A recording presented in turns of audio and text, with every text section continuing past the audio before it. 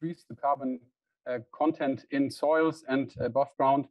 Uh, in the afternoon, we then had discussions with experts more from the economic uh, and political science side, where we discussed about all the different challenges institutionally to basically set up systems that allow us to incentivize in positive and uh, uh, other ways, uh, and also including the option, of course, of integrating carbon farming into carbon markets.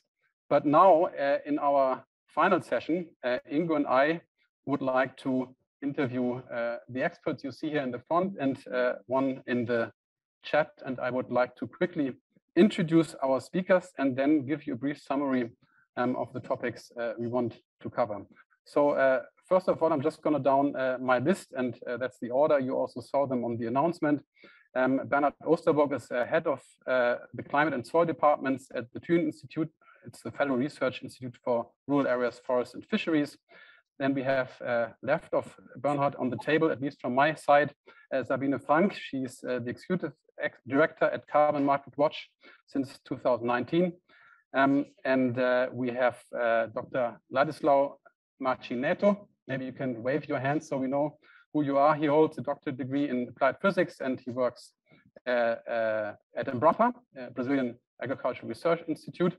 Uh, then we have uh, Daniel Vargas from the Fundação Getúlio Vargas, think tank, research think tank, um, and he heads the coordinate the, the Bioeconomy Observatory at the foundation.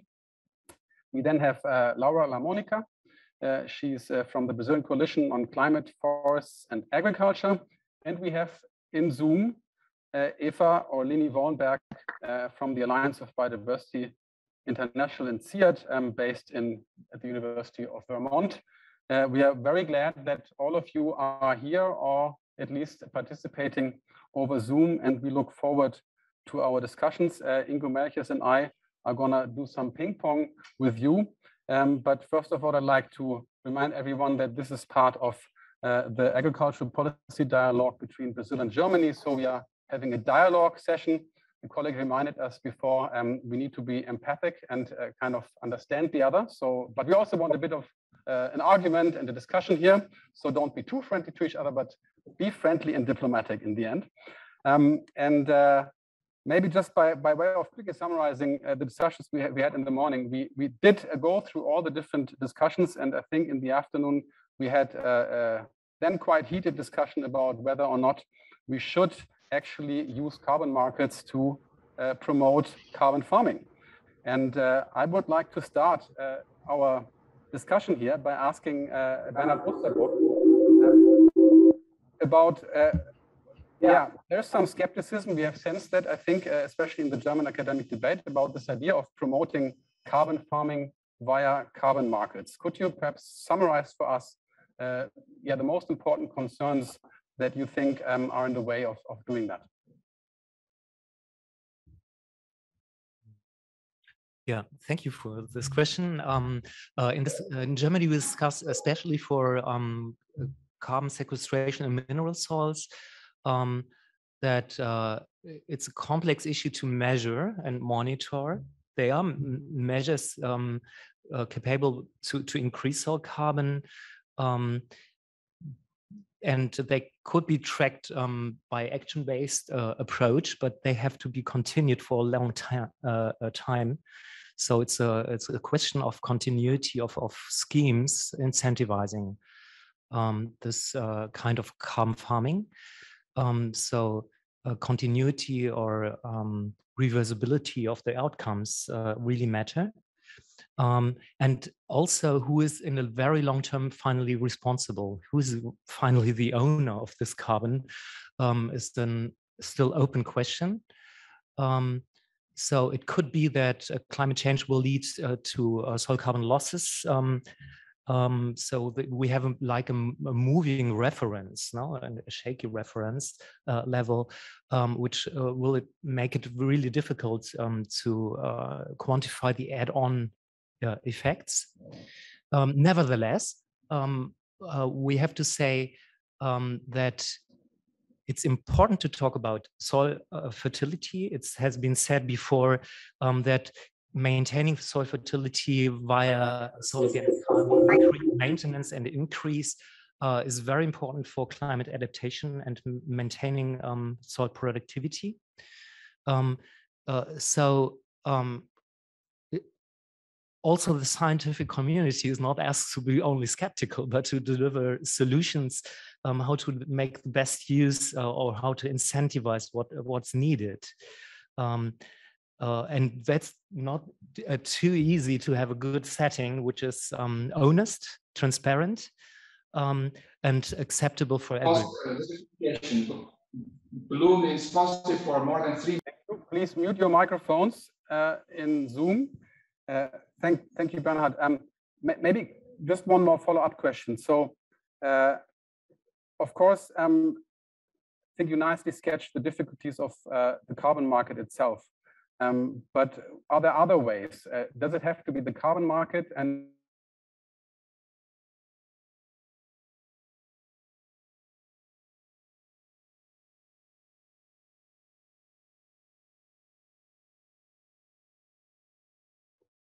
I think that's more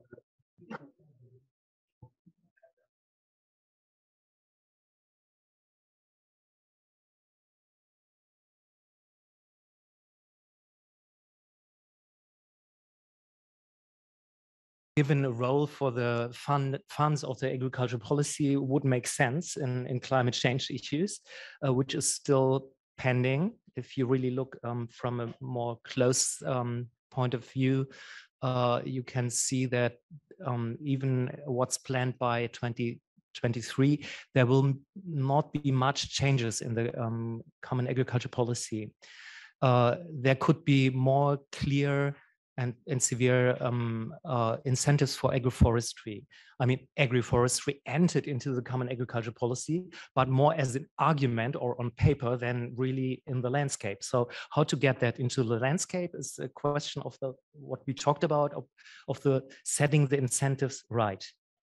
Yeah, and uh, from that point of view, also we have to say uh, we we check that soil organic carbon in mineral soils um, is the most difficult activity to monitor to be monitored later. Um, uh, hedgerows, agroforestry, and so on can be monitored by remote sensing, and you can really set a reference. So that's easy. It's quite similar. Um, although it's not um, increasing soil carbon, but avoiding emissions uh, for the peatland rewetting uh, it's quite territorial described um, um, uh, to be defined in in territories where you change uh, water regime and land use, and that you can really good uh, monitor in a much easier way, um, and also to think about what incentives are needed um, to to help uh, land users move into that direction but let me one uh, to, to, uh, add one one thought.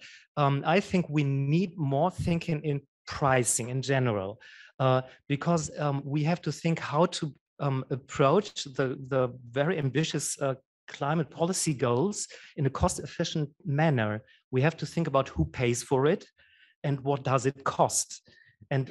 Uh, in the first instance, independent from the solution, what is the way to deliver? So there might be out there the idea that people emitting have to pay for, and those um, sequestering carbon have to be paid for their services, for instance. If that's not delivered by the market, maybe the government could help out um, to, to put the right framework or incentives or compensations. Um, but the way to think about all that is quite helpful and think about what are the ways which are mo most cost, cost efficient and when we have to start also because um, waiting lots of time uh, also uh, increase is increasing the cost of adaptation we, we will need in in all sectors and also of course in the land use sector. Thank you, Bernhard. Um, let's move to uh, Sabine Frank. Uh, Sabine, your organization, Carbon Market Watch, uh, you deal with with carbon or you observe carbon markets across the whole spectrum of economic sectors. We have also in the morning discussed quite a bit about how the agricultural sector is different from, from the energy sector. Um, so uh, do you think carbon markets can actually become a sustainable source of finance for carbon marking, mark, um, for carbon farming? And if yes, Um, how and if not, maybe what, what why?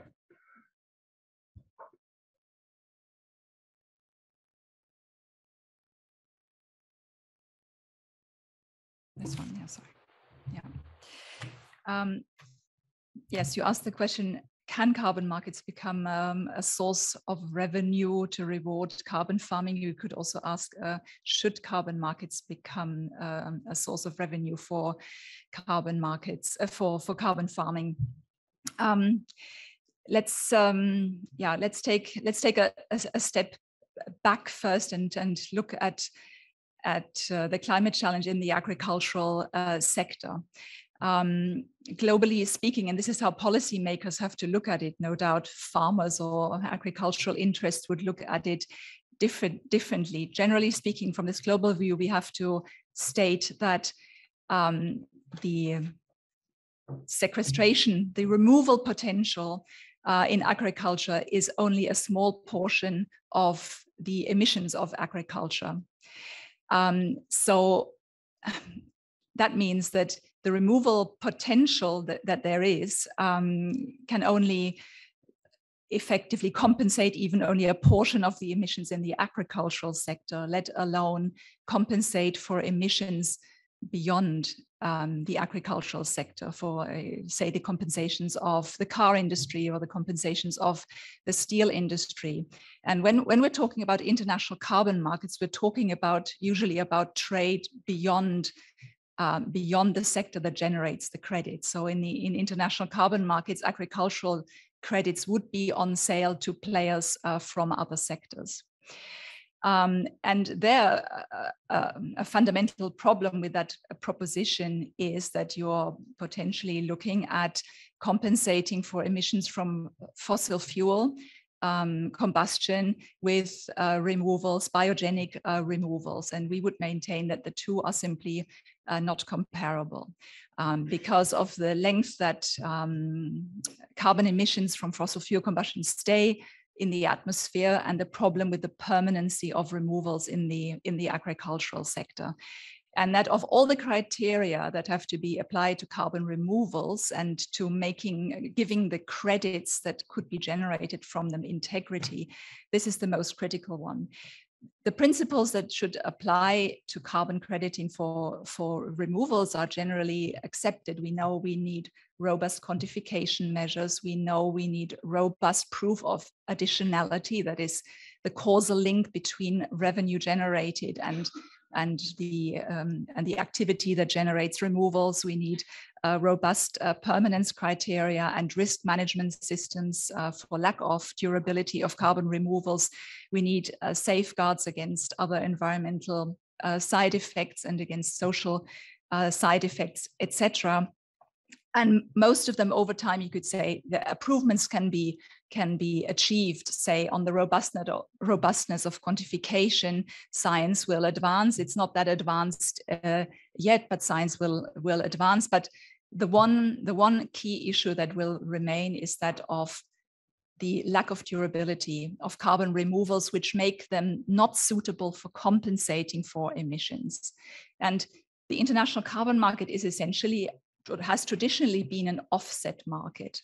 And that's the problem. If we could move to a system whereby the international carbon market is no longer an offset market, but a market um, through which companies can make climate uh, contributions, can support, say, the efforts of developing countries in uh, reducing their emissions or offsetting their, their emissions, then that would be okay. But the way the scenario as it is with not just countries, but also companies having adopted net zero aims and that always net zero goals and that always removes, uh, always involves uh, removals as well to, uh, to compensate for unabatable emissions, uh, that remains problematical.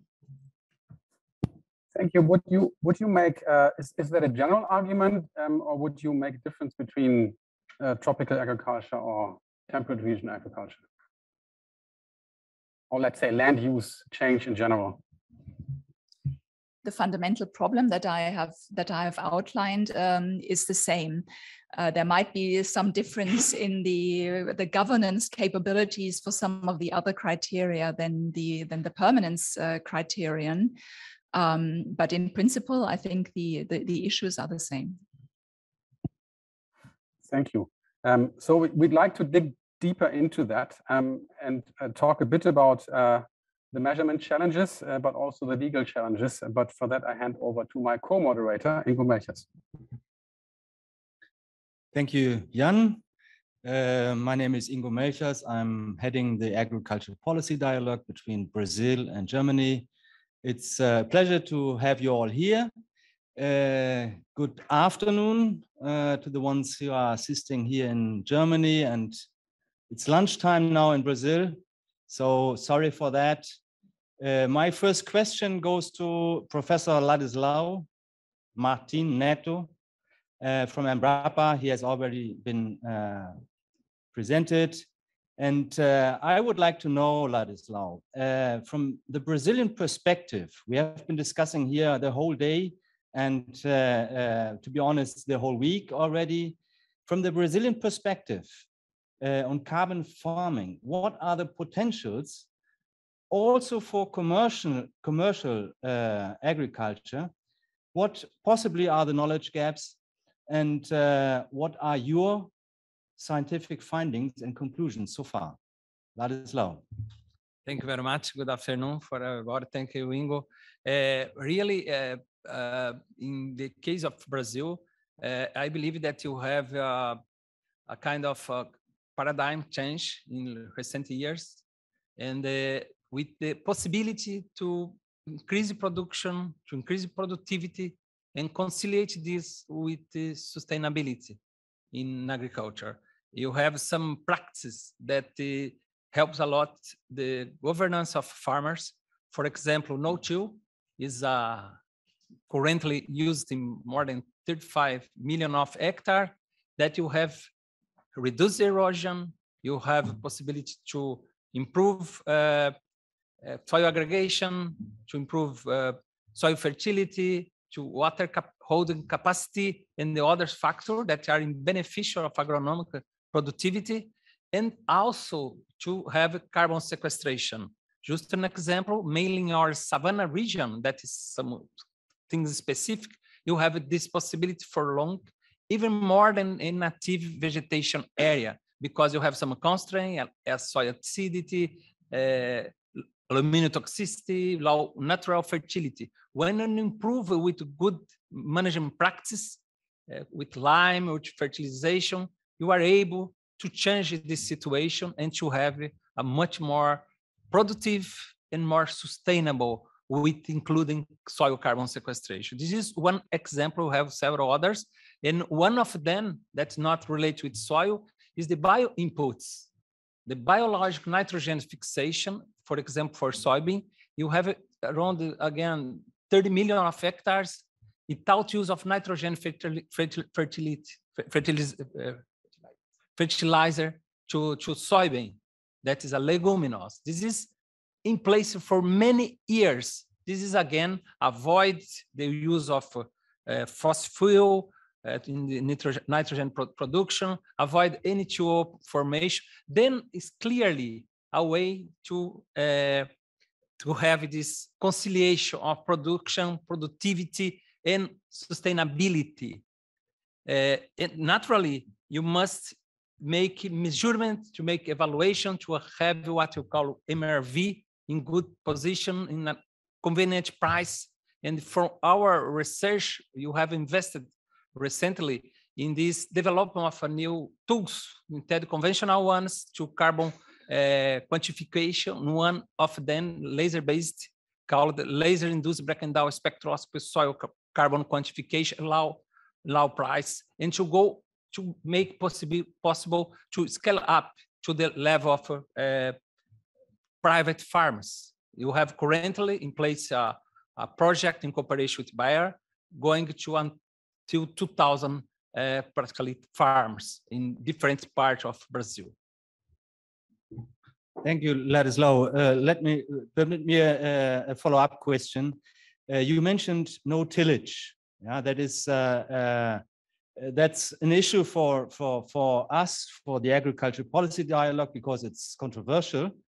In uh, Germany, we have, we have seen uh, a lot of, uh, I, I, I would say more than skepticism, it's uh, criticism. And uh, we have heard here about today about no tillage. you mentioned 35 million hectares what uh, uh, what what you say? How much uh, how much no tillage in in according to your research would would be able to remove from carbon atmospheric carbon? Yes, uh, this is an important point. Uh, generally, you, our data has shown that at least uh, one ton CO2 equivalent per hectare is possible to have in these uh, in several places uh, using no-till. Naturally, as you know, Brazil is a kind of continent. You have different biomes, subtropical and the salt, uh, the savanna area, Atlantic forest. this is, you must see it, the soil conditions, the kind of uh, uh, practice more detail, cover, pro, cover crops or not. It, enter more recently this integration crop livestock crop livestock forest that is increase more possibilities to to this uh, carbon uh, sequestration including the trees but even with using the, some kind of pastureland as brachiaria they are so efficient to photosynthesis a C4 uh, plant then this date can reach easily to five uh, tons of CO2 equivalent that is really important number, considering also, for example, integrate production system, mainly crop livestock, but also part is crop livestock forest, is reaching uh, 70 million of hectares under this integrated system.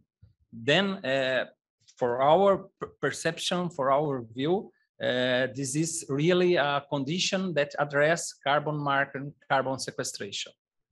Thank you. Thank you very much. Uh, my next question will, will go to, to Daniel Vargas, uh, who is uh, uh coordinator of the Bioeconomy, Observatory uh, from the FGV Fundação Getúlio Vargas. Daniel, or Daniel, to include tropical agriculture and livestock into the carbon markets may not be the fast selling item some may have expected uh, as we heard here in, uh, during the day.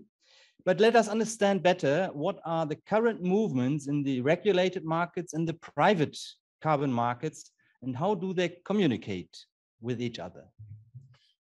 Uh, thanks, Ingo. It's a long and complex question. Let me see if mm-hmm. I can unpack it and address parts of it at least. So I always like to look at the carbon market as a very special and particular kind of market. We normally look at markets in the way that we think about food, for example. I wake up, I am hungry, I go to the market and I want to buy some fruits to satisfy my demand. Or I uh, want to drink something and then I look for something that satisfies my body needs, uh, my thirst. But when we talk about carbon, that doesn't usually take place. No one wakes up hungry to buy some carbon. No one goes to a store to buy a carbon juice. So where does the demand come from? It comes from a political pact set by diplomacy or by law. And as we establish that demand, artificially creating an idea of property, which we associate with a right to emit or to reduce emissions, then is when we trigger the demand for some kinds of action which will lead to the formation of a market.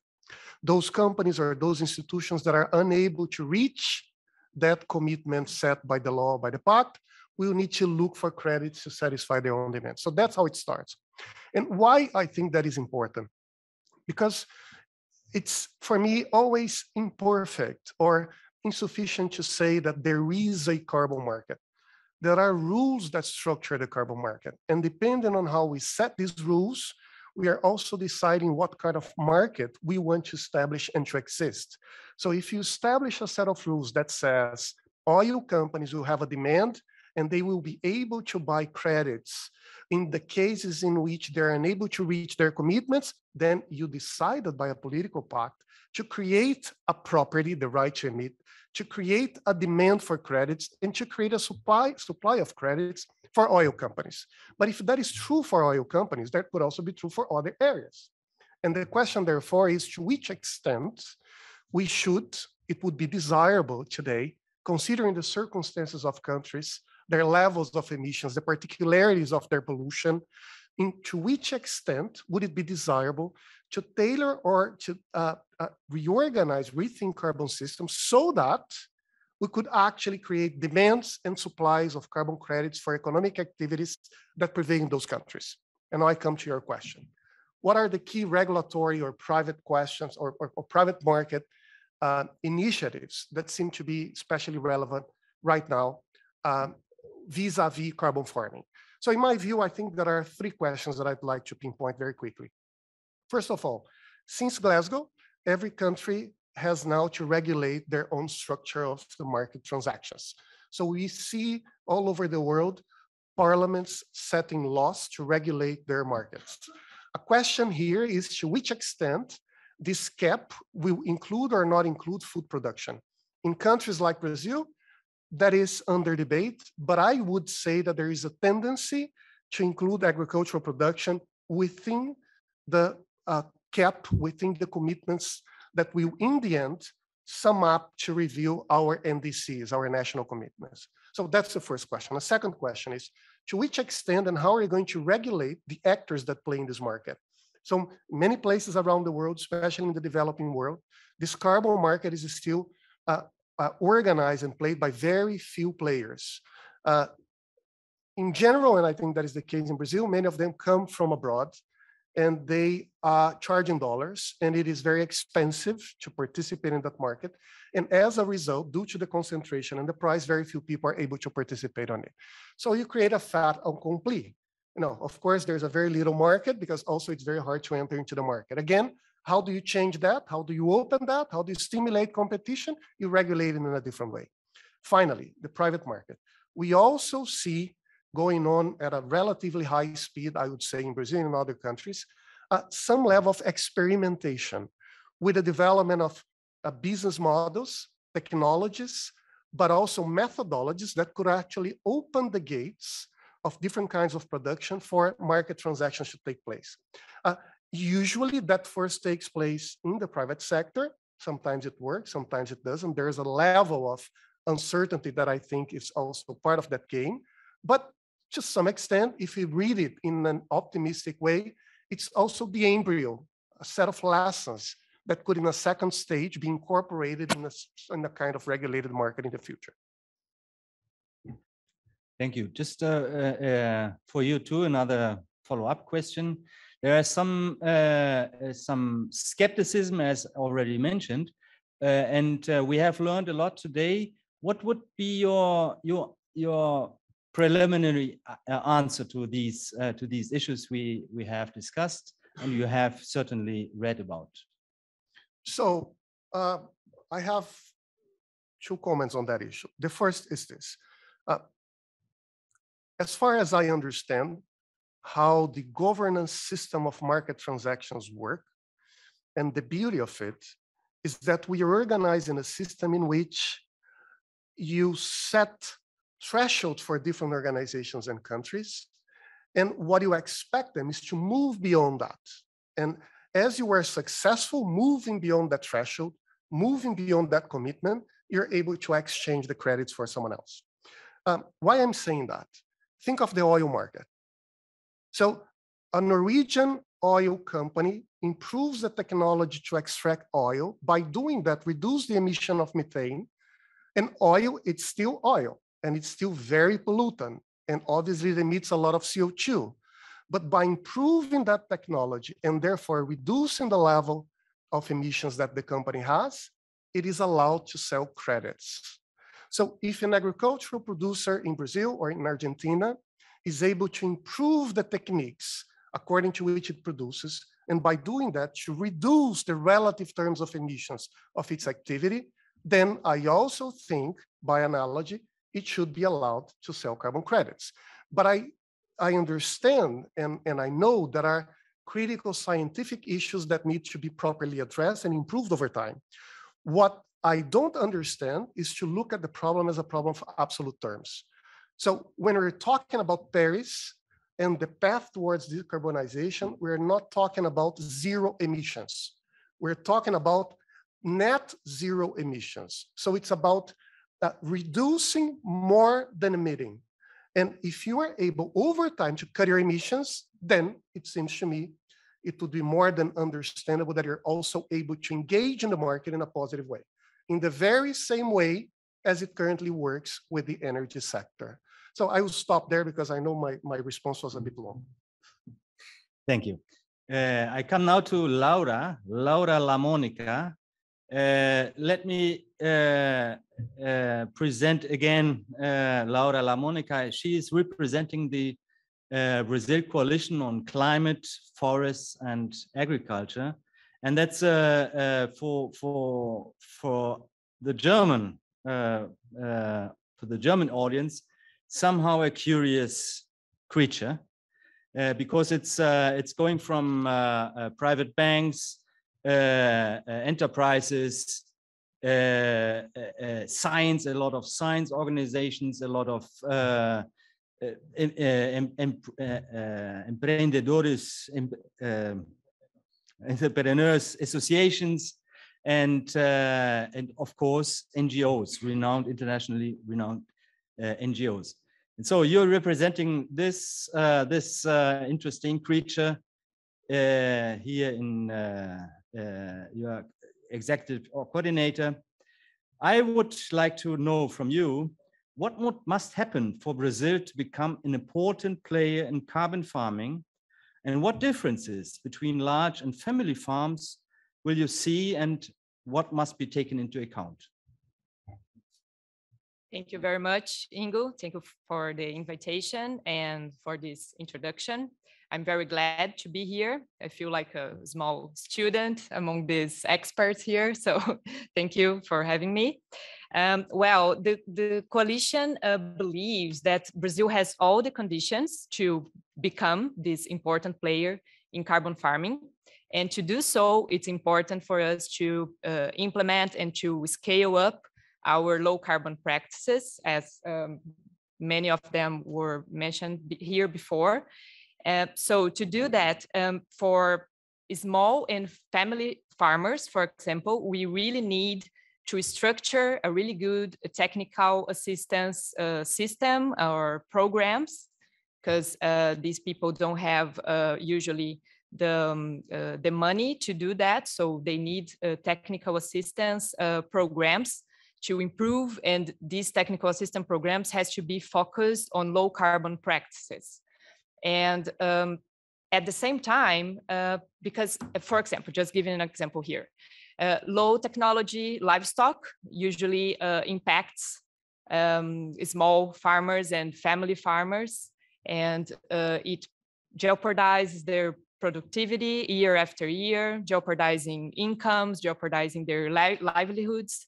And at the same time, we have a large area of degraded areas, uh, degraded pastures in Brazil, where um, we don't have uh, not we don't have only the potential to uh, get benefits from carbon markets of this of, of recovering these areas, but also we can, uh, for example, by a good technical assistance program, uh, we can have an agroforestry system uh, growing up in these degraded areas uh, by small and family farmers. So it's good um, for carbon markets. It's good also to uh, reduce pressure to deforest new areas once we have uh, already these ones.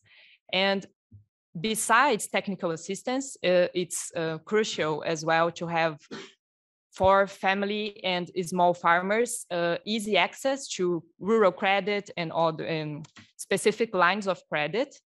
I think this is the point. Investments is uh, the core difference between large and small farmers, and in Brazil or anywhere, uh, because that's it. Small farmers need uh, this uh, easy access to credit, and large farmers need to uh, invest most part of the, their money in low carbon practices and uh, increasing productivity. So I think that's it. And um, it's possible uh, to show this way from uh, large farmers that can improve their productivity and um, by this low carbon practice that it is possible to produce more and to produce better without deforestation in Brazil, something that the Brazilian coalition has uh, been uh, defending in a lot of ways. And finally, I promise I'm going to end. Um, we have in Brazil a national plan to low carbon uh, agriculture, as mentioned before by Camila here. Uh, it's called the ABC Plus plan. So it's important as well to implement this plan, and um, it includes is, is strengthening uh, science and technological development. So it's important to consider too. So summarizing technical assistance and easy credit uh, to small and uh, family farmers and um, investments and uh, focused on low carbon practices and uh, increasing productivity for large farmers. Thank you, Laura. Uh, for for you too, a follow-up question, shortly, very shortly. Uh, I imagine that uh, the opinion building processes in in, uh, in the in that broad alliance of the coalition Brazil uh, are not that easy always. Uh, is there any consented opinion on carbon farming within the coalition? Yeah, we, we have been building like a consensus about carbon markets as a whole. And uh, because we have in Brazil more than 70% of our emissions coming from land use change, especially deforestation and agricultural practices, uh, the coalition defends that these activities, land use, has to be considered in some way in carbon markets. And uh, what is important to mention here is that um, carbon markets can't uh, come alone. So this instrument has to be combined with other policies and other measures that helps Brazil to uh, reduce deforestation, to end illegal deforestation, for example, that uh, represents more than 90% of the deforestation happening in Brazil right now. And uh, also instruments for forest valuation. So I think carbon markets, and this is uh, what uh, coalition have been working on, uh, has to be part of a bigger strategy, a bigger strategy that considers this uh, decarbonization and to um, replace Brazil in this climate discussion.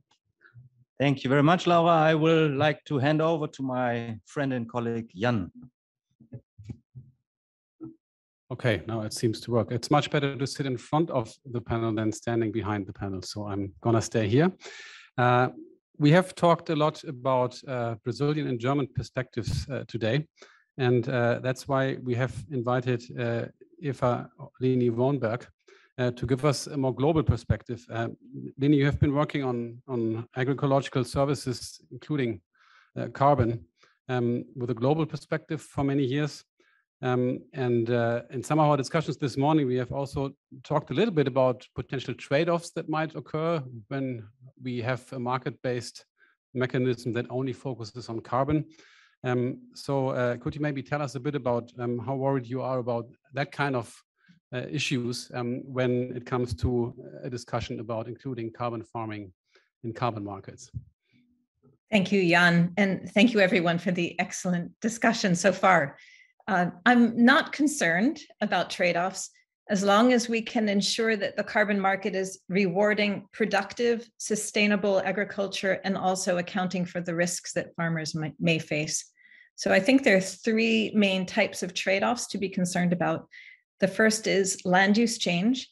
Uh, in the case of forestry and agriculture, we have a price differential, um, or I should say, a value differential, in that forestry land has much higher carbon value than most agricultural land. And so uh, we see, for example, in New Zealand, uh, because forest carbon credits are available and uh, sheep methane would be uh, taxed essentially through a carbon fee, we see sheep farmers converting land to uh, more forest land. So that raises concerns, you know, not only economically, but potentially for food security, especially when you're talking about uh, low income countries. Um, the second, I think, uh, more abiding fear has been that um, in the case of forest carbon, um, that you would be locking up land uh, that would prevent expansion of agricultural land. And again, that will be most important in, in countries where intensification and, and input supplies are, are not as possible. Um, and not necessarily in, in some parts of Brazil. The second major trade-off would be in uh, the case of sustainable uh, agricultural practices. So uh, I heard the mention of conservation agriculture, which of course is is a major practice in in Brazil. Brazil's probably been the leader in that regard, and uh, the potential trade-off is in increased pesticide use. And so you know, we need to think about you know impacts on human health, on soil qual- and soil health, and water quality that may uh, result from new practices or or intensification of some practices. And then also to consider that enhancing soil carbon usually requires increased inputs of some sort, and agriculture generally requires, in many parts of the world, uh, increased fertilizer, and, and to be sustained will require probably combinations of organic fertilizers and uh, biological nitrogen fixation and so on. And so to be able to um, maintain uh, fertilizer inputs over time will increase emissions as well. The third main trade-off very quickly is uh, farmer risk. Um, for example, agroforestry has been one of the most um, common practices in the carbon market. And to first of all, to plant trees um, may lock up land and practices that farmers um, may not want to do if prices change or if land titles change, um, but also to um, assure farmers, and, and I think Sabina touched on this, of you know the the uh, returns in the carbon market. So carbon markets have been somewhat volatile, especially over the last 20 years um, how can we ensure that farmers will get the benefits that they expect? How can we ensure that farmers can deliver the emissions that they want? And, and the market has been quite good in, in developing some discounting and risk management mechanisms in that regard. So as long as we can manage uh, the sustainability, the um, land use change and landscape mosaic, and the risks to farmers, I, I feel confident it can work. Thank you. Uh, you already gave us some examples from New Zealand. Um, are there, and I think we talked about sort of how it could be done. Brazil is setting up a, a national carbon trading system. Um, Europe has one.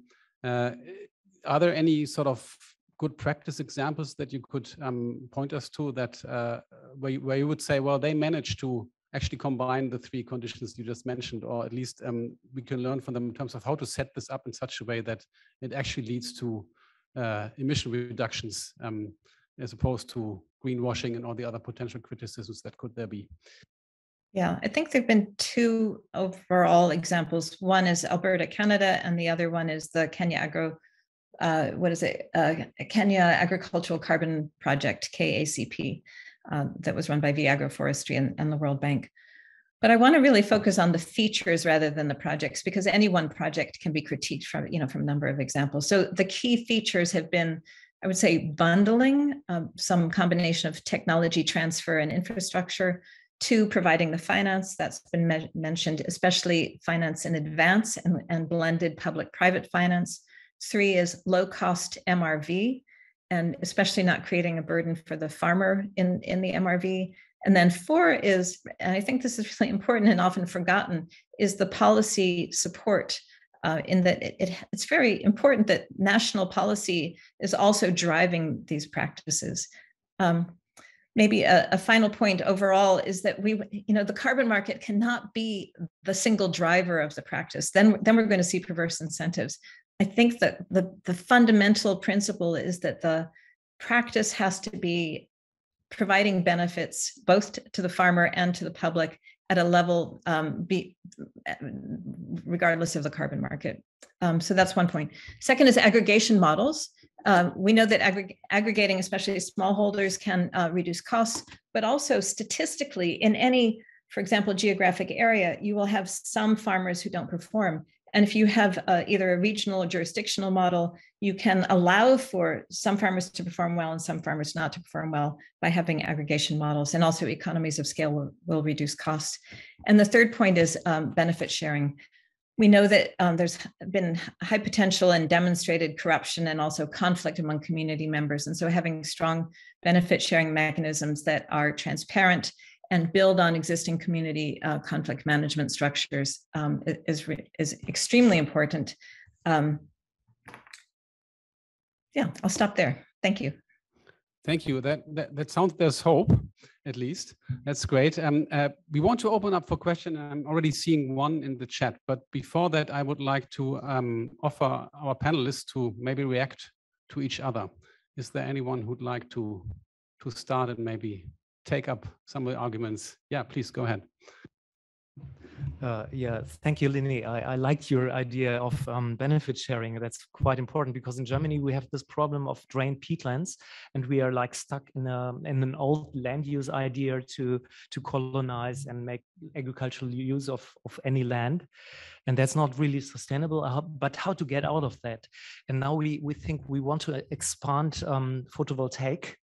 Um, uh, facilities and maybe we could uh, use um, this land uh, totally rewetted um, and and put um, uh, uh, photovoltaic um, facilities on it that would create huge um, returns uh, sufficient to to um, turn more land into a better situation. But for that you would need benefit sharing models and good contracts. And even the legal part could hamper any movement there so maybe we will have a situation where we put uh, photovoltaic facilities on the best soils, arable soils, and so on, leaving peatland as it is. Um, so uh, that's just a comment more now that we are thinking about. That's something like not really pricing directly, but using the transformations ahead um, to to have um, double win situations. But but how to get there? Mm, thank you. Yeah, if I could respond. So one uh, one way of addressing that is uh, aggregated um, benefits. In other words, community level benefits in the form of either public goods or services to the community, and and that, that has been demonstrated to reduce conflict.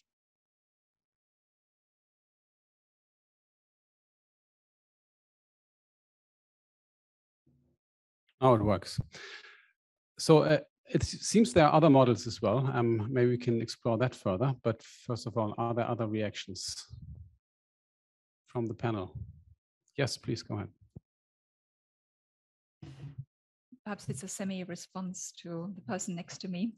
Um, I'd like to come back to the question of how to incentivize uh, carbon farming practices. If we all agree, assume that in principle this is um, is a good thing in the European Union, we have the principle enshrined in our treaties that the polluter should pay. The polluter pays. It's a universal principle. It's it's um, applied in a very limited form uh, at the moment in the European emissions trading system. We apply a price to uh, energy, pro electricity providers, and to heavy industry, uh, steel, cement, paper, pulp, aluminium, etc., etc. We're in the process of expanding that. Um, it's a it's a difficult political uh, debate, get more industrial sectors in it, expand it. We are now on the verge of expanding it to, to the shipping sector, to the transport sector, to the building sector. Agriculture is also down the line, but it's not, we're not socially and therefore not politically ready to expand it to agriculture, although there's a general promise that by 35 there would be a price um, on agriculture. So if and, and carbon pricing is basic if you are if you are penalizing polluting practices, you're indirectly um, promoting beneficial practices, so you're giving them an economic space to develop. Um, but if we can't have that for agriculture, then we have to ask where else does the incentive come from? Uh, one obvious way of incenting it, incentivizing it is um, via public subsidies. But again, where the European Union is concerned, although the common agricultural policy is primarily a subsidies uh, policy. The window of opportunity at the moment is closed for incentivizing uh, carbon farming through subsidies. So, okay, what do we look to next? We look to we look to international uh, carbon markets.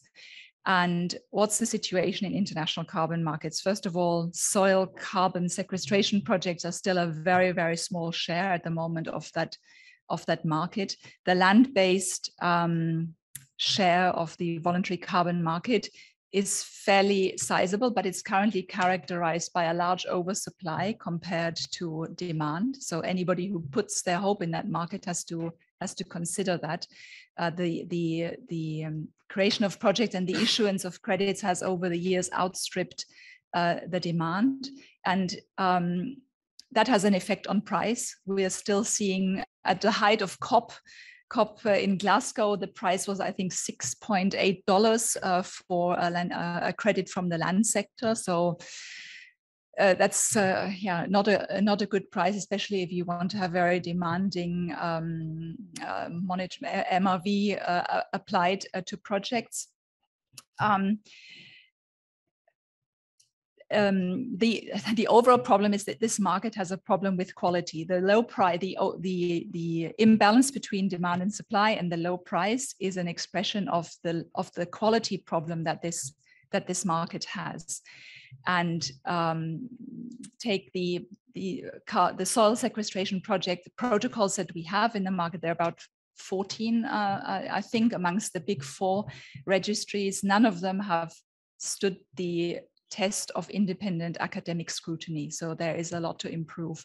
CarbonPlan, for example, who has examined that, ends their ends their uh, assessment of these protocols with the recommendation to buyers that they should look very specifically at the project from which they buy credits. They shouldn't just rely on, you know, the hallmark of the registry uh, that is attached to it, but ask very specific questions about the project that has generated the credits. Now, big players can do that. They, they, they have the resources maybe to go into scrutinizing projects, but for most companies that look to buy carbon credits, they can't be expected to do that. So we need international governance efforts for the for the carbon markets, and they are there. Perhaps you've heard of the Mark Carney uh, task force for scaling up voluntary carbon markets. It was this big idea the voluntary carbon market could grow 13 fold. Um, but very soon the question became, well, if, it, if the carbon market is supposed to be bigger, then we need more integrity in that market. We need higher quality credits. And what we, what we have at the moment is two major initiatives. One to govern, to regulate the supply side with the Integrity Council for the Voluntary Carbon Market, which is a big, big consultation exercise, which will sometime this year um, come out with its core carbon principle and its assessment framework, which will go in the direction of actually giving a sort of quality label for credits that are generated.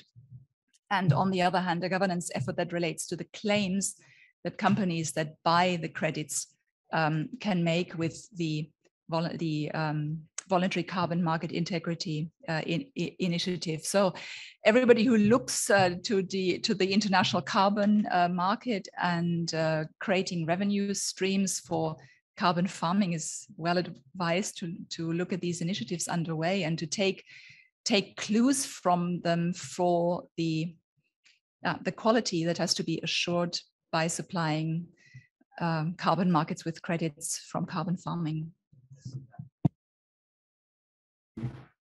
Um, I would like to, to make another question on, on uh, the difference between tropical soils and tropical uh, regions and uh, temperate uh, agriculture.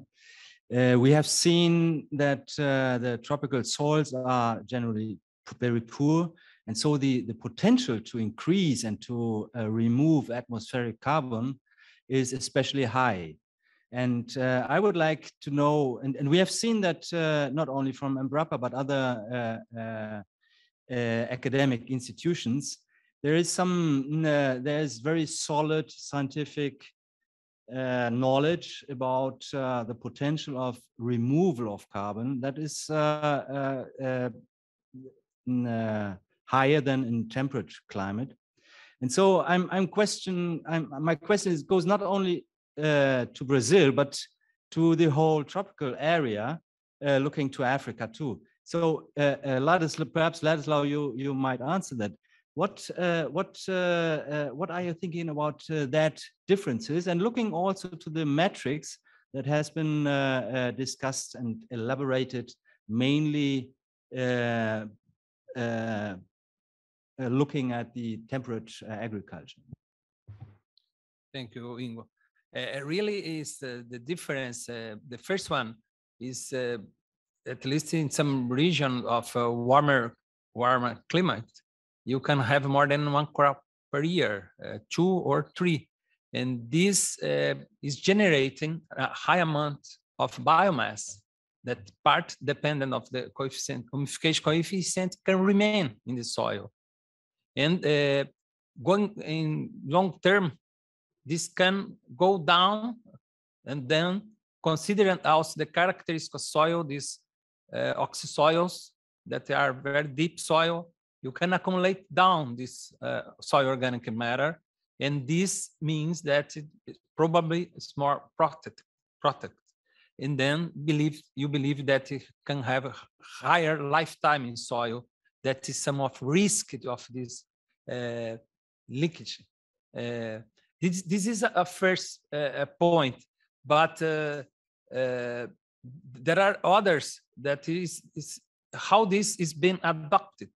And in our countries, growing adoption of this practice that permits uh, to, to, to, to expand in large areas this condition. In temperate region, uh, including recent, recent publication is a metadata data analysis, make what you asked for me, the comparison with uh, temperate and warmer uh, tropical climates. And this is a study from uh, authors, uh, a colleague from us from Embrapa, is an, Rodrigo Nicoloso from Embrapa, and uh, Charles Rice from Kansas State University. And this is a, actually a metadata analysis, what uh, from 120 sites, 19 countries, six continents, and make this comparison. One of conclusion confirm this trend, not only with data from Brazil, from other region as well.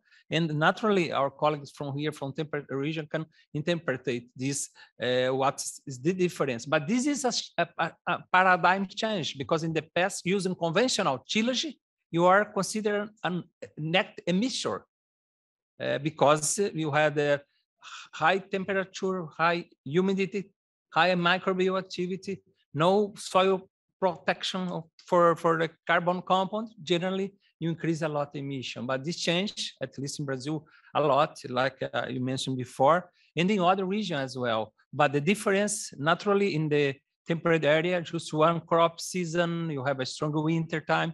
That is good to not to to to to to to have a generation of emission, but apparently what we have seen, uh, I don't know if it's steady state conditions on the other condition in, in temperate area, and this new data, the new condition for tropical region is shown up. It's not only a matter of uh, uh, clay content. I have seen studies that just looking for where you can have a higher soil carbon sequestration, where you have a higher higher uh, soil texture. This is one important, but the biomass amount, incorporation of this bio production, net uh, production productivity is very critical. At least recent data are showing this, at least from my knowledge.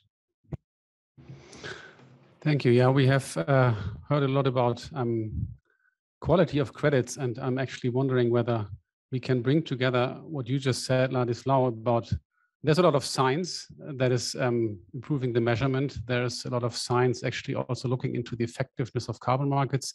Um, is can science help to improve the quality of these credits and um, make this a safer bet than it currently seems, or how do you see that? Um, I'd like to uh, announce with that question also the opening of the floor to our audiences, both here in the room and in uh, in Zoom. So if you uh, want to ask a question after someone has maybe tried to answer mine, um, please do so, and we try to uh, uh, go through the different hands and have you ask questions. You can also use the chat, of course.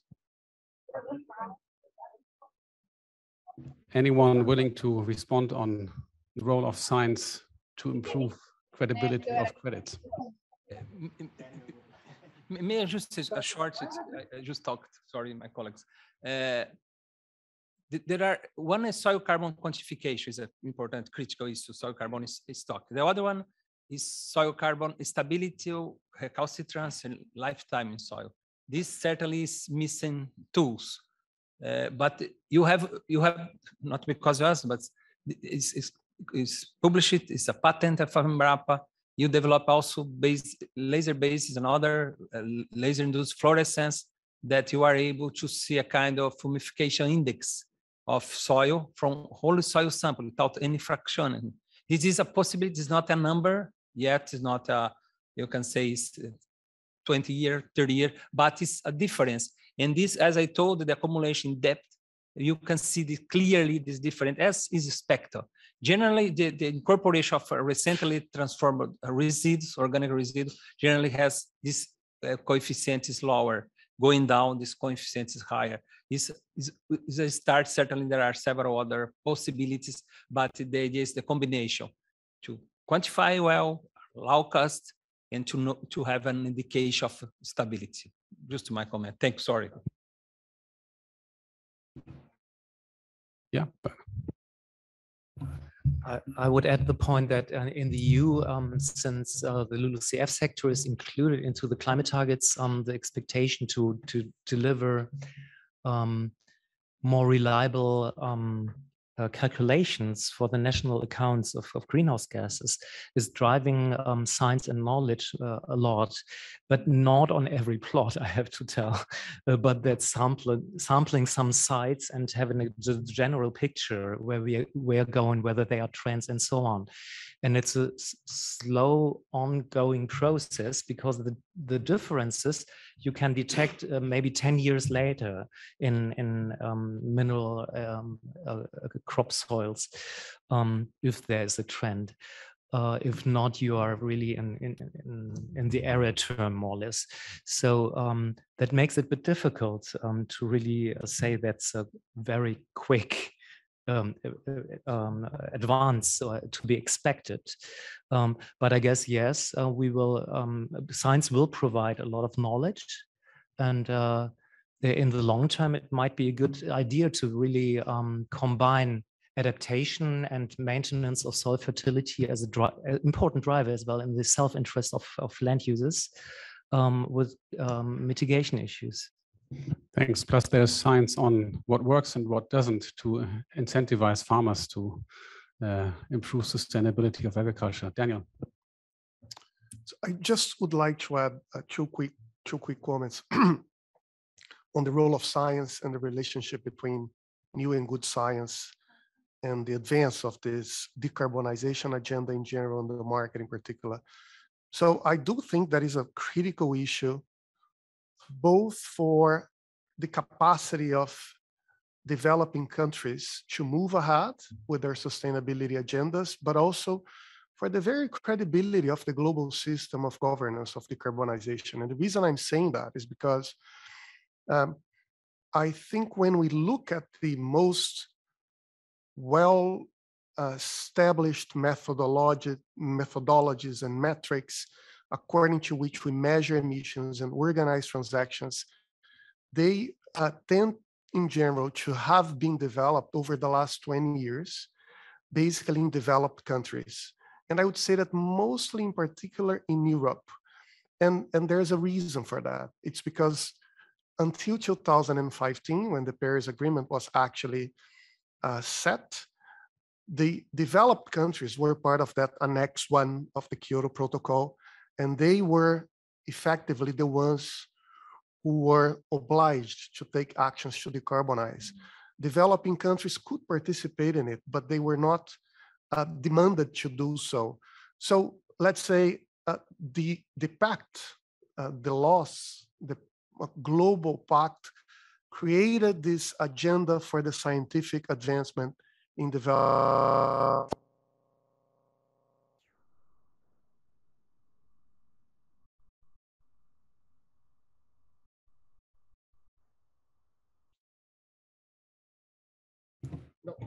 now it's working again. So a whole set of metrics, methodologies were actually developed to support those countries to reach those goals. In 2015, the structure changed. Now the whole world has actually committed itself to reducing emissions, but I do think we still have a gap, a scientific gap to make up for, and that requires more science, new and specific ways of measuring emissions in developing countries, and therefore to support them to reach their goals. So I would say that for developing countries, science is a, a critical issue to allow them to move forward. And I would say, this is my final point, I'll be very quick, is that when you connect that discussion with the market, then the connection is also quite natural. I mean, if you can't measure properly, if you're not sure exactly about your emissions and about your sequestrations, then how are you going to actually engage in a market in reasonably equal terms? You are not. So that's part of the legitimacy challenge that is actually posed, uh, but which has at its core this, this, this huge requirement to develop, uh, I would say, a tropical science, but a global science uh, more quickly. Thanks, Daniel. I'm now going to ask two questions that came up in the chat. And after that, I'm going to look backwards into the room and see whether someone here in the room wants to ask a question. Uh, Yusuf uh, Karatai from Embrapa is asking uh, to Bernhard, do you see the inclusion of agriculture and compulsory, uh, in brackets, regulated markets realistic in the mid long term? And would it be rather an opportunity or a threat, for example, considering food security? Uh, and the second question uh, is to the Brazilian panel participants. Uh, you spoke about carbon farming in relation to crop production, forestry and agroforestry. Do you see also potential of carbon farming for grasslands in Brazil? And that question is from sonia Germer from ATB. Um, okay. Um, hello, Yusuf. Um, thanks for your question. And uh, I I would say it, at the moment it's a more academic discussion uh, to fully include um, agriculture and maybe also agricultural land use and into a um, international or EU pricing systems. That's not really on the agenda or the debate. It's a scientific debate, and it could be a proxy to understand better what uh, what are the costs of of um, measures, for instance, as I, I tried to explain before. And I like that idea of thinking, now to to find the right ways and and to to have the discussion also on what does it cost, who pays for it. Um, when it comes to interventions into the agricultural um, production system, uh, also we have discussion, and that's real policy, um, uh, what's going on with the livestock sector. Um, and there we could see instead of pricing approaches, which could have similar um, effects, of course, um, that we will see maybe kinds of quota um, to curb down um, the amount of livestock and maybe increase um, uh, the the efficiency in the livestock sector um, if we are happy enough to have the right instruments uh, on the way for that. And to be honest, um, that might increase um, food security um, at the global level because um, uh, high livestock um, uh, amounts in Europe also consume lots of um, eatable food from humans. and uh, that's more for, for the purchasing power of the uh, European citizens and their preferences in the food markets. Um, and if we now get a climate policy, we could see really big shifts and not, not always against food security. Um, when it comes up to uh, afforestation as a simple solution in the land use sector and quite detectable. You have your remote sensing going around every year or so. Um, that could be a pay, paying um, instrument, really consuming a valuable land and um, expropriating in a way, at, at least as a danger, um, poor population in maybe remote countries from the European point of view. And there, of course, um, uh, um, food security is at stake, and we have to discuss that, how to put the limits, how to control those markets uh, to, to avoid such um, un, uh, unwanted, undesired uh, effects. Anyone from the Brazilian colleagues who wants to answer the question on grasslands?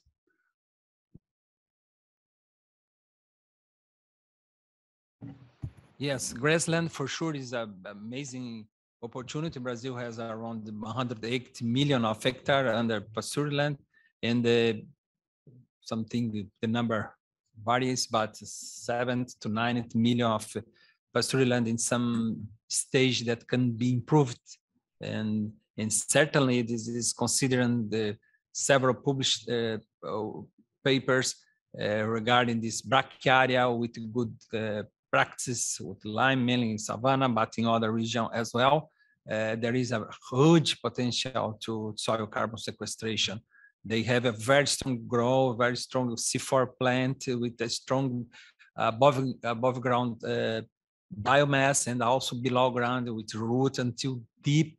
And recent data showing that around 40 to 50% of all incorporated carbon in soil comes from the root exudate. That is so, so important. Then for sure, uh, land is a very, very important and include uh, the what is in the market. is currently, it's not only science, the uh, neutral carbon beef uh, that was mentioned here by Eduardo, uh, that you are selling this product and you have the certificate of how this occurring. One of these compensation uh, is through the soil. Naturally, if you have trees, you have the wood also that is easy to, to audit.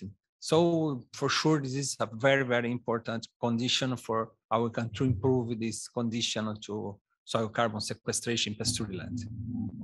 Okay, thanks. Uh, looking back into the room, anyone who wants to ask a question of those of you, you look all tired, but you have been here for the whole day.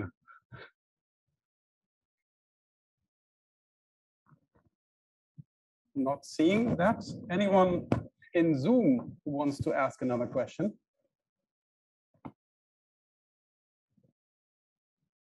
Yeah, there's Eva Sternfeld from DCZ. Please unmute yourself.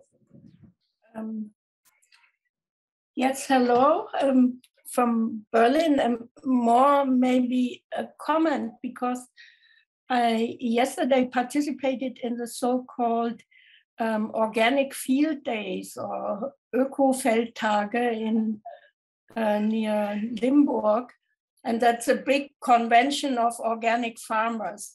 And they had also a similar panel like today on the on a similar topic, like um, um, carbon farming. And the panel among the panelists was also the uh, secretary, the parliamentary secretary Ophelia Nick, and um, IFOAM chairman um, from Europe, um, and he's also the chairman of Bioland. And as you mentioned, I think you mentioned it already, they are really skeptical about um, um, carbon farming. And um, Mr. Plagge, the, the president of IFOAM, he said they will recommend their, their members not to participate in this at the moment because they think it's rather immature and they say, uh, um, Mrs. Um, Nick, she said maybe, um, of course, she supports this um, uh, good practices to improve the soil and to improve the capacity to store carbon. But um, she, she sees that um, at the moment there's a lot of people yeah, waiting just to make money or to all these consulting companies and um, um, so I don't know if you have discussed this already this morning, but um, I think at least in our government, in our new ministry, there is a lot of skepticism in, uh, um, uh, about carbon farming. Okay, anyone wants to react to that comment? I think, uh, yeah. only some few words. Uh, thank you very much to have uh, give you uh, give us uh, insights into this uh, discussion, which is quite similar what we discussed um, over this day. Um, and indeed, it's our observation from Thünen Institute also that we have in, in Germany and, and in, in the EU so many startups entering, normally coming from other um, uh, sectors in a way, um, people not so close to agriculture trying to develop a business which could be a chance of course but also if um, this is failing, um, participating farmers could lose a lot because um, we, we had, for instance, on a, a discussion um, beginning this year with the uh, German Farmers Union. And um, this discussion was also about, do we seek as a farmers community really money for a ton of carbon? Um, or uh, do we seek more acknowledgement uh, for what we are doing and what we are caring for the soil? And that was quite clear that the latter is very important and you could lose really credit points if you try to get money in a way and it's not really a reliable system. Um, and also it was recommended not to sell out uh, credits to any other sector like um, the um, transport sector for instance now with with uh, flights or so.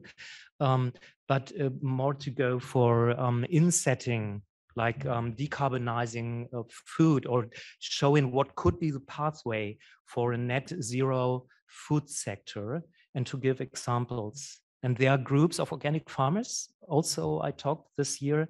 Um, they try to go for a more collective approach, like you told. It's um, not account per ton, uh, per plot, and so on, but really um, to pay for um, mitigation, collective mitigation actions, which are improving sustainability of agriculture as more as a process.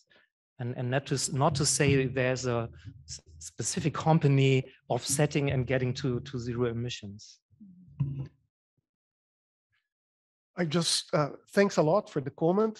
Um, and I just would like to give some some data of the experience that I that I've had uh, in Brazil recently with a study that we ran at the Bioeconomy Observatory, which I think confirms the preoccupation of the participant. So we looked at the what we call the reality and practice of the carbon market in Brazil, and we tried to understand how many projects have actually been created and registered in the country, where they are located, who is selling the credits, according to which methodology, who is buying, how much they're paying, and who are the intermediaries. And one of the conclusions that we've reached for, which I found quite surprising, is how limited this market in practice is. So there are very, very few participants, in general, not more than five developers. Uh, uh, basically, Verra, the international certifier, is responsible for 93% of the registrations of the credits in Brazil. The majority of these credits uh, are credits generated according to one methodology, which has to do with forest protection. And some of these developers charge 50% of the value of the credit once it is sold for the development of the project. So um, it becomes a weird kind of market setting in which the intermediary gets half or more of the profit. And then one of the consequences of this obviously is a kind of skepticism on the part of the property owners themselves and uh, some criticism as well. But then what do you do vis-a-vis that situation? One answer would be to say stop all carbon markets in the country and carbon farming in particular including credits that go for the protection of the forest. An alternative would be let's think of new ways to regulate and organize this market so that it can stimulate competition. And considering that Brazil is a relatively large country with a relatively sophisticated agricultural sector and economy and consumer market, maybe we would have the power to use this national demand to foster a kind of competition. So let's say to open the market from inside so that there are new players, new institutions that would work according to regulated principles and settings so they can monitor it more properly. And by also having some kind of competition, also diminish this dependence of the property owner on the position of very few foreign intermediaries. Thank you, Daniel. Um, I would like to, to finish in time. It has been a long day. Um, I will do the following. I will read to you two questions that have still come up in the chat but I will actually ask you to give me uh, each of the panelists, and maybe in the same sequence as you're sitting there, Lini again last, um, to answer one question. Uh, what actions are needed and by who to make sustainable carbon farming a reality for both small and large scale farmers. And I'm deliberately not um, uh, including the, the, the, carbon market here. You will give us the answer whether you think it can be the solution or not. Um, but that's sort of the question I'd like you to maybe make a short statement on. Um, and uh, now I read to you the two questions. Maybe you can answer them in passing. Uh, Sebastian Meyer wants to know, uh, what about fertilizer-related uh, greenhouse gas emissions, um, which should be reduced through regenerative agriculture and much higher, uh, and are much higher than carbon removed in soil and plant material. Uh, the second question by Yusuf, who we know already, can peatland management and respective policies in Germany be a role model for carbon farming in general? So I assume that's a question to uh, Bernhard. Uh, for instance, instance, similar risks for stability, longevity of carbon sequestration, considering once peatland re-wetting is not maintained, soil carbon is largely lost. So a question on uh, fertilizer-based emissions and a question on peatlands, and the main question, what next? How do we move ahead? Sorry, Bernhard, you are the first, um, so you have the least time to think about your answer. Yeah.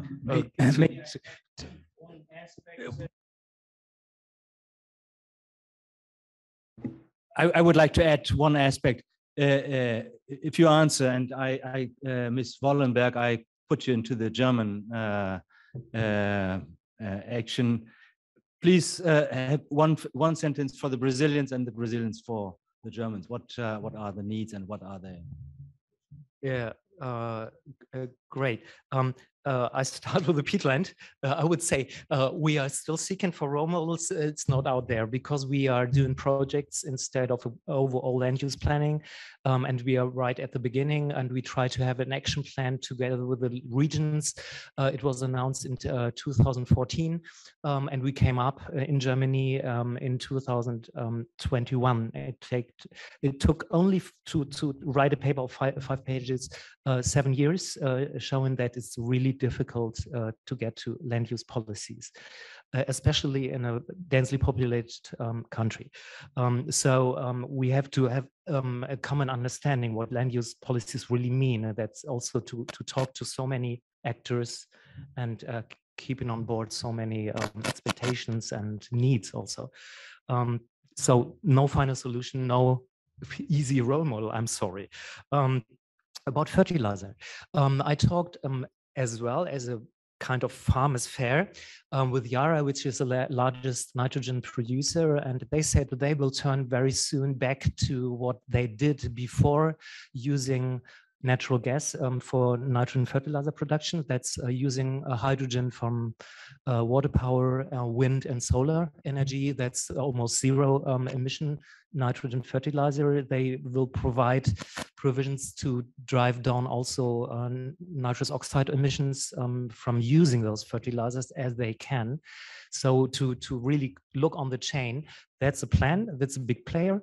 Um, and this technology will spread, I'm sure, when it's um, when uh, fossils are expensive enough I would say, um, uh, then this um, solutions will um, uh, really be more important and that has to do with pricing pricing what's emitting now to to give way uh, to to solutions.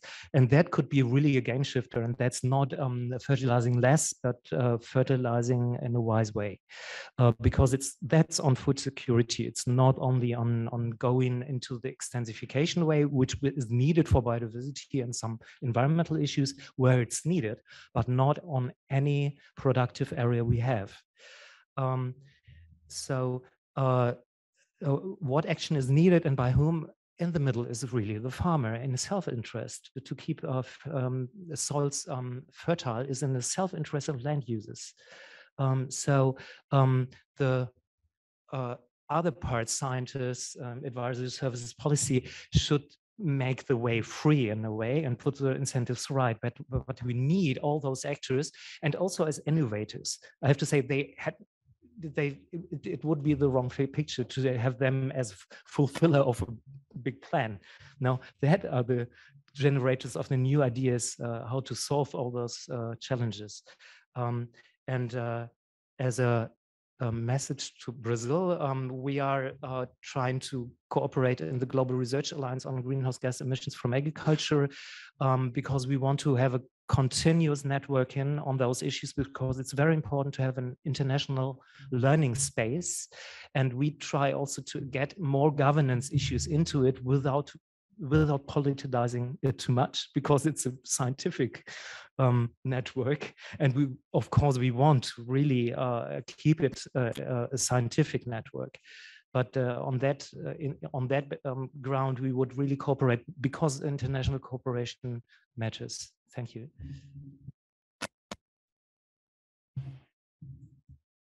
on your closing question my specialty is carbon markets, not agriculture. So I only have a very uh, general response here, and that is looked at from the outside as it is. To me, it seems uh, carbon farming is a is a sideshow in agriculture. It's a side uh, track, and what is really needed is systemic change in in agriculture. So a, a, direction, I would like to see a direction whereby carbon farming is not a niche preoccupation in agriculture.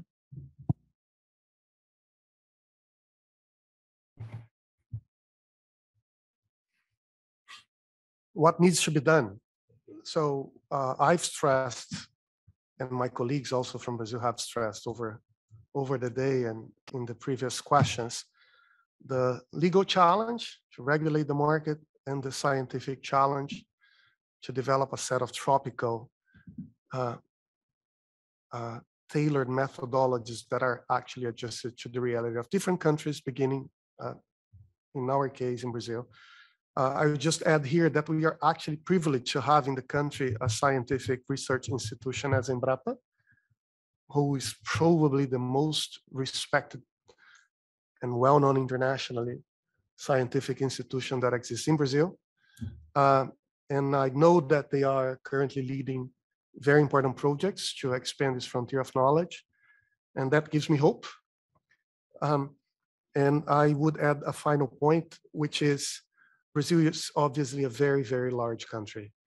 And we don't have just one specific kind of agriculture. We have some.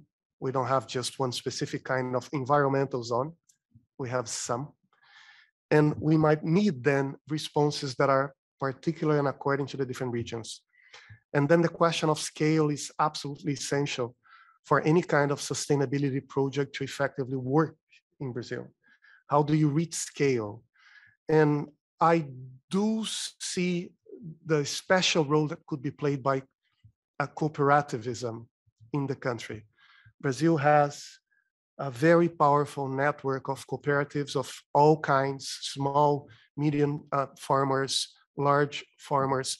Uh, cooperatives are very closely connected to the history of the development of techniques and the assimilation of uh, uh, technology and innovation. And I do think that as they embrace the sustainability agenda and they are quickly moving in that direction, then uh, we might have a, a, good chance of speeding up this process of improving uh, the quality, but also the productivity of the Brazilian agriculture so that can reconcile uh, economic growth with, with sustainability. And for my colleagues in the German side, I actually just would like very much to thank you. I learned a lot. Um, and I, I hope you both have the chance to visit us in Brazil at some point soon, and we can continue this exchange in our territory this time. Thanks a lot. Well, um, I would like to connect this question with the one you made before about uh, the quality of the credits, just uh, real quick, but uh, just don't, uh, I, I, can't, uh, don't take the opportunity to reinforce that I represent here a coalition that is composed of more than 330 organizations in Brazil from the private sector, financial sector, civil society organizations, and the academia. And um, all of these organizations all together, uh, they uh, defend four main pillars uh, for the carbon markets to operate in a way that it can contribute to the environmental integrity of the global climate system. And some of them uh, was mentioned before by Sab Sabine, right?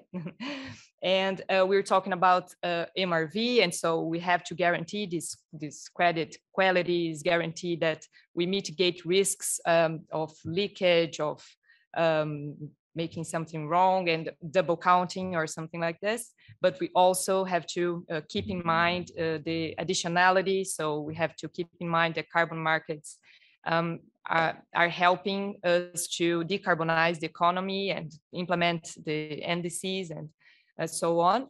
And we also have to uh, keep in mind uh, social and environmental safeguards uh, to take into consideration the decision of those who are uh, usually generating the results and to have a robust uh, governance. So it, it all have to um, advance all together because it's uh, very important. And uh, I'm saying that because we're looking at carbon farming and carbon markets as part of the climate solution. And now uh, getting to the final question and um, about who we have to engage in this uh, mission of uh, carbon farming and carbon markets. As all, all the uh, climate uh, issues, I think we have to collaborate uh,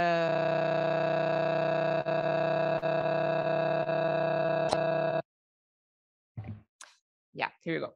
So we need producers to uh, broadly adopt low carbon practices and to being be aware of uh, the um, the role that agriculture sector uh, has to climate change mitigation and adaptation. We need governments to take action, to implement policies, to um, um, align their policies just to a sustainable uh, land use. We need civil society to qualify the debates, to promote dialogue among sectors and to put pressure on decision makers. And we need scientists to exchange knowledge and uh, to upscale these technologies that we're uh, talking about, about these methods.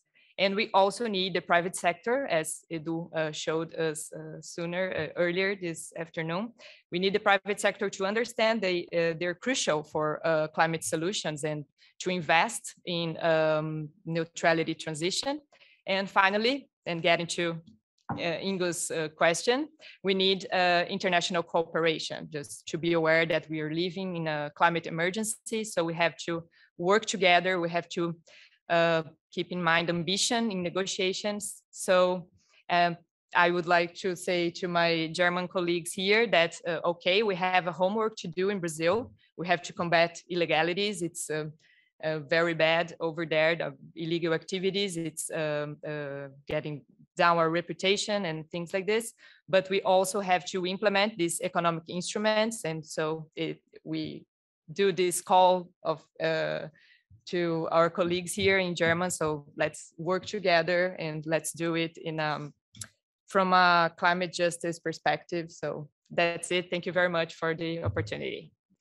Thank you, Laura. Uh, Ladislau, you have the final word now because uh, Lini has had to leave us for another meeting. So big responsibility with you now.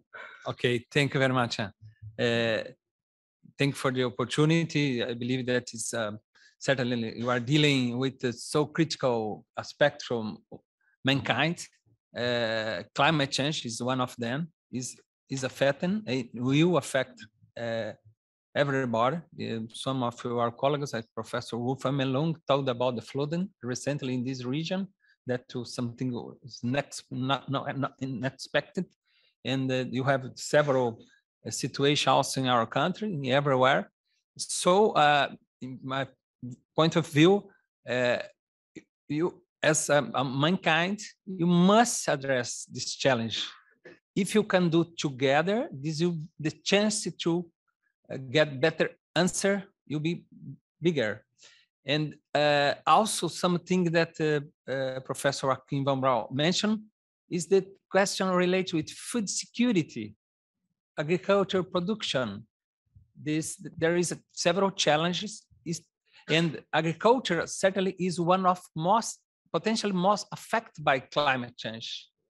So you must conciliate this agenda and to work in a win-win agenda globally so my point of view, you are have important opportunity, you are making important effort, efforts. I agree completely with Daniel told about the effort that was made in advance about scientific possibilities.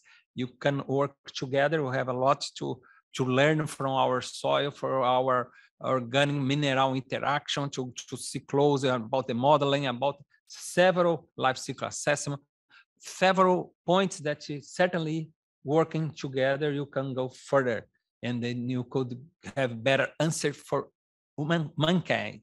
This is the, the, the point. It's not dealing here with our interest. And for the farmers, they are together as they have a personal responsibility, but also the society has responsibility with these uh, farmers. You have in Brazil, you talk all the time that you have larger farmers, everything is moving, exportation. Also have the majority of our farmers small farmer holders, which is immense difficult. The poverty in rural uh, area is one of the largest in the country. This is another possibility